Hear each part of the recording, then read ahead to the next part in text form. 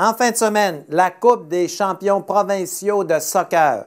C'est un événement pour nous. C'est la première fois qu'on a un aussi gros championnat de soccer. Tous les terrains de la ville vont être occupés. Nos hôtels sont pleins à craquer. On nous dit même qu'on sollicite les hôteliers d'Alma. Alors, en fin de semaine, on se donne rendez-vous. On va voir nos champions dans le soccer.